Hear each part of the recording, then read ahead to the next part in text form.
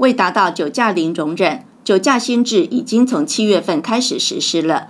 针对酒驾发生的意外及造成的家庭破裂事故，在警方积极宣导及加强取缔下，虽有减少，但酒驾伤亡事件仍是频传，令人遗憾。县议会在今年五月定期会上，针对酒驾行为也引起许多议员关切。县议员林芳瑜呼吁大家务必要守法，尤其骑脚踏车也不能喝酒上路了。同车的每一个人都有责任哈，不能让喝了酒的人呃当驾驶。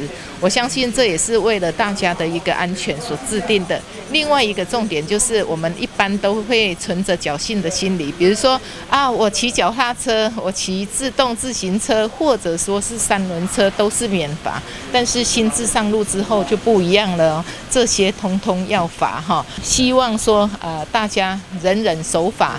最重要的，也就是不要因为你一个个人的这一个疏忽、个人的酒驾，而造成自身以及别人的这一个呃生命危险。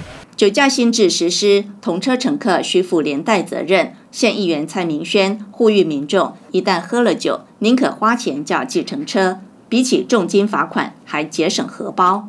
今年哦，七月一号。我们的酒驾法则哦有提高了哈，啊我们都知道哈，我们提高法则哦不是为了要增加民众的一个罚金然后主要就是要有效的来遏阻我们酒驾行为的一个发生吼，啊我们都希望吼不要因为酒驾造成吼我们家庭的一个破裂了吼，啊所以这边吼明轩要提醒我们所有的。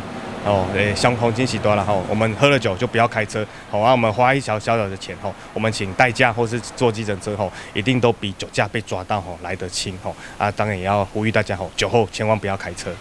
酒驾新制上路，乘客也有连带责任，并且脚踏车、电动自行车也都列为处理的对象。期许酒驾新制可达到贺阻的效果，还给民众一条安全回家的路。人人守法，酒驾不上路，家庭及个人生命才有保障。记者王水仙综合采访报道。